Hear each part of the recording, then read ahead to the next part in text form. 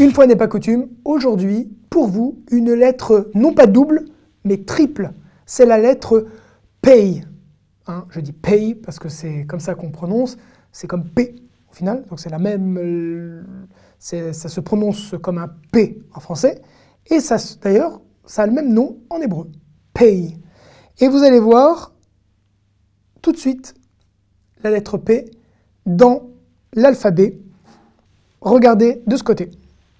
Aleph, Bet, Gimel, Dalet, He, Vav, Zain, Chet, Tet, Yud, Kaf, Chaf, Sofit, Lamed, Mem, Mem Sofit, Nun, Nun Sofit, Samer, Ain, P, Fe, Fe Sofit. Aïe aïe aïe, encore une lettre triple. Regardons ça de plus près. Vous rappelez-vous de la lettre Kaf, qui avait non seulement une lettre sans le point, qui se lisait Chaf, et en plus avait sa lettre finale Chaf Sofit. On est bien en présence ici du Kaf, Chaf et Chaf Sofit. Et bien là, c'est le même principe. Nous avons le Pei avec un point, le Fe sans le point, et le Fe Sofit, c'est la lettre finale. Attention, c'est jamais P Sofit, c'est Fe Sofit, comme c'est toujours Chaf Sofit. Il n'y a jamais de point sur les lettres finales. Alors, avec une autre typographie, ça donne ça, P, Fe et Sofit, ce Sofit qui descend en dessous de la ligne de base, comme vous pouvez le constater ici. On peut essayer de le dessiner ensemble, vous allez voir euh, à quoi il ressemble ce Pei. Il commence comme un CAF, en fait, comme ceci, et sauf qu'il a une espèce de boucle qui vient descendre comme ceci. Franchement, il a aussi beaucoup sa personnalité, ce, ce fait. Vous risquez pas de le confondre avec quoi que ce soit. Voilà, il ressemble au CAF, sauf qu'il a euh, cette boucle qui descend et cette espèce de trompe. Alors P veut dire une bouche, hein. P.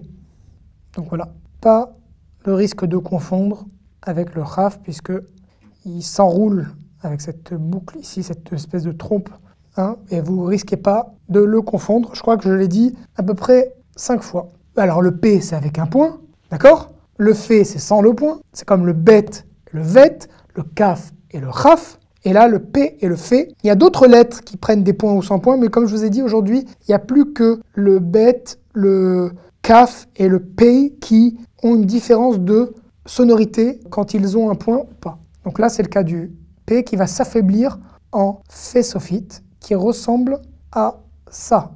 Il ressemble un peu au Raf sophite, sauf que il n'a pas cette forme de dalet comme on l'a vu sur le Raf sophite. Là, il est, c'est comme vraiment un F ou un P comme vous voulez, qui descend. Voilà, voilà, voilà, voilà. Rappelez-vous le Raf sophite, il avait cette forme de dalet ici. Il avait, euh, voilà, il sortait comme ça. Ça, c'est le Raf sophite. Non, c'est pas le cas du, du, du Pei, du Fei euh, qui est direct comme, ça, comme, comme la lettre normale. Et puis avec la même trompe ici, qui va faire ça. Et hop, voilà.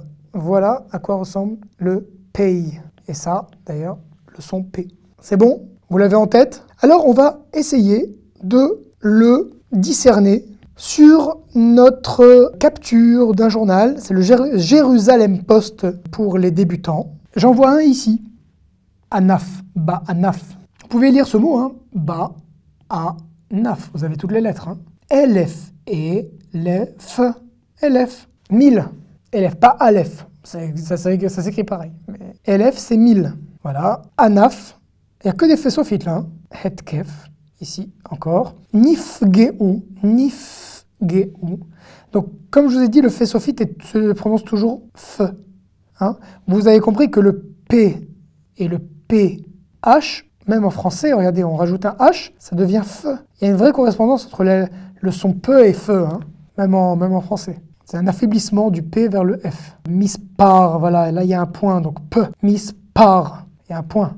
Mispar, encore le mot mispar qui veut dire un chiffre. Mispar. Nephila, nephila.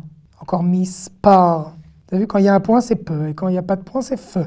Lifne, c'est un mot qu'on va apprendre ça. Lifne. Pirsem. Ouh là là, le samer est le même, juste à côté. Vous avez vu? Pirsem. Vous avez vu là? Ça se ressemble, hein? Ça se ressemble, mais c'est pas la même chose. Euh, Est-ce qu'on a d'autres? Chafatsim. Bon, hein, il y en a pas mal. Pirsum. Alors, vous allez voir euh, que le fait, le P en tout cas, c'est une lettre qui ne fait pas partie de la syntaxe hébraïque, enfin qui, n'est pas une lettre utilisée dans la syntaxe ou dans la morphologie des verbes. Donc vous allez le voir quand on en aura besoin pour le son peu ou feu. Comme ici, ils n'interviennent pas comme le lamed ou le bet ou le kaf ou ces autres lettres ou le hey ou le yud ou le mem, sophite. Hein Vous voyez ce que je veux dire la morphologie, c'est-à-dire quand c'est pour le pluriel, pour, euh, des, des prépositions, etc. Là, le pay, c'est pas ni une préposition ni un pluriel. Vous n'allez pas l'avoir en tant que préfixe et suffixe. N'oubliez pas en hébreu, on a des préfixes et des suffixes qui vont changer la morphologie des mots et vous induire en erreur. Comment se dessine en cursive cette lettre pay Alors vous suivez bien, c'est parti. Réponse tout de suite. Pour le pay, c'est comme ça. Comme ceci. Mais alors, si je dessine en, bâton, ça faisait ça? Comment ça se fait que le l'enroulement s'est retrouvé en bas? Bon, bah, c'est comme ça. faut se plaindre euh, aux Ashkénazes, parce que c'est la, c'est la cursive Ashkénaze, n'oubliez pas, hein, qu'on écrit aujourd'hui. Donc voilà, hop, non, non, non, il n'est pas beau celui-là. Hop. Donc, on est passé de ceci à cela. Donc faites attention, hein, faites pas ça. hein. Faites pas ça. Donc c'est bien, hop, et j'enroule. Hop, et j'enroule, comme un G à l'envers. Enroulez bien, hein, et restez bien dans les lignes. Vous ferez vos exercices d'écriture pour faire un beau pay. Et vous mettrez un point si c'est un P et un pas de point si c'est un fait. Vous allez me dire, mais sans voyelle, comment on le différencie? Eh bien, c'est pareil. Voilà. On ne différencie pas sans voyelle. Sans voyelle, il n'y a pas de point du tout. C'est comme le bête euh, qui n'a pas de point euh, quand il n'y a, pas de- a pas de voyelle. Euh, le, CAF, le CAF, il n'y a pas de point. Nulle part, ni voyelle, ni point. D'accord? Donc, dans un vrai euh, article de journal, vous ne verrez pas de différence entre le P et le fait, évidemment. Le fait sophite maintenant, qui est pas une partie de plaisir, vous allez voir. Est-ce que vous vous rappelez du lamed? On se rappelle, le lamed, je prends la, je fais une petite boucle et je jette. Et je jette, il va bien bien haut, et hop, hop, hop, hop, hop. Et surtout, je ne fais pas ça. C'est à proscrire, hein. on commence pas du haut, on commence du bas. Donc ça, je pense que vous l'avez bien admis. Eh bien, le fait sophite, c'est comme le lamed. Je monte, sauf que je m'arrête pas. Je m'arrête pas. Je redescends. Alors vous allez me dire, ça ressemble à un J. Si vous faites un J, vous sortez direct. Ça va pas, ça va pas bien se passer. Du tout, du tout. On commence pas comme un J, ça fait pas ça. hein. Rien à voir. C'est comme ceci. Du bas, hop, comme à la med, sauf que je continue et je fais ça. Bon, ça ressemble à un J, à une clé de sol. euh, hein. Regardez un petit peu, trouvez votre moyen mémotechnique. Hop, hop, hop, hop. Je refais Oui. Bien droit. Et hop. Hop.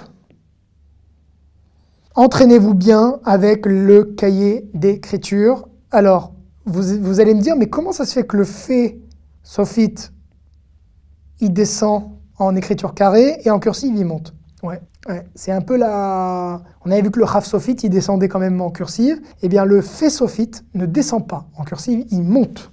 C'est comme ça, il faut l'apprendre et l'intégrer. Le fait sophite à l'écrit en écriture carrée descend, en écriture cursive, il monte. Voilà, c'est la règle. Et bien maintenant, nous allons passer à la lecture. C'est parti. Alors lecture, on y va ensemble. Cette ligne, on va s'occuper d'abord du fait, sans le point. Fa, fa, fa. Fait, fait, fait. F, fou, fou. Faux, faux, faux, fi.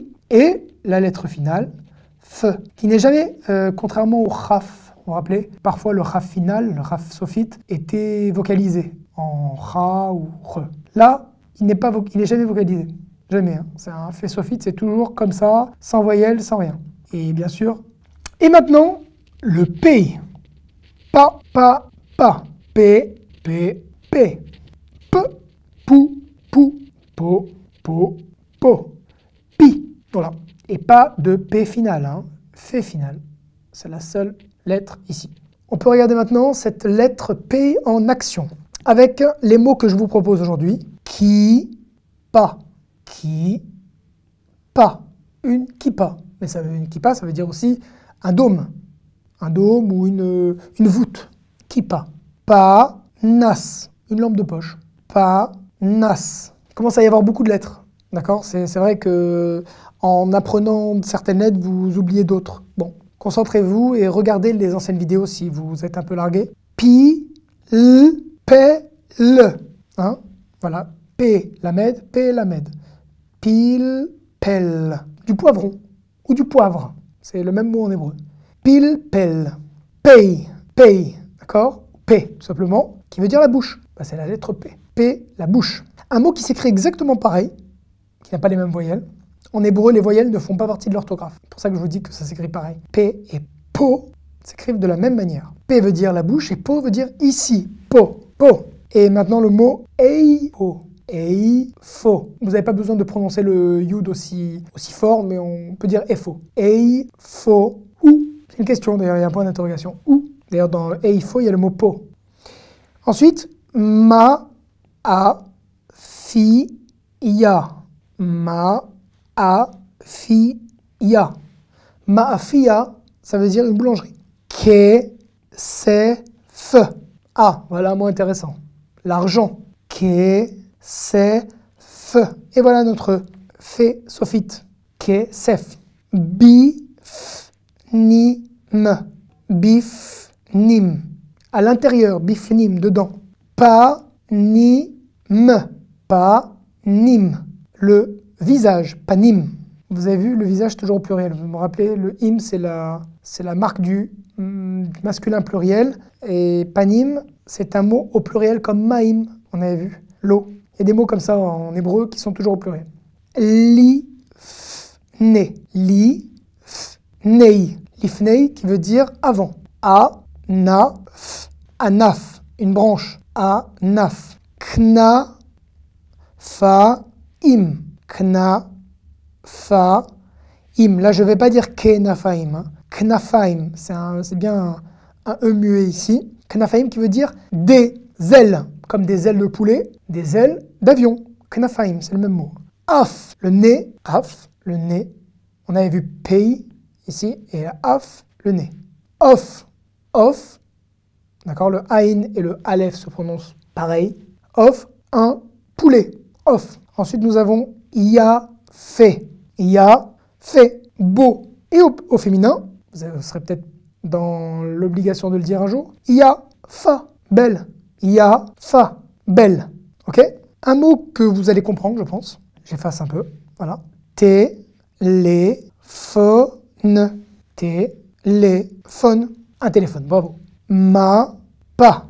Mappa, ça veut dire soit une nappe, soit une map, justement, un plan. Mappa. L'er, l'er, vous vous rappelez du Sophite L'er, mi po, mi po, de là, pars d'ici, va-t'en, euh, pars d'ici, s'il te plaît. Oh là là, vas-y, tu m'as fatigué, l'air mi po.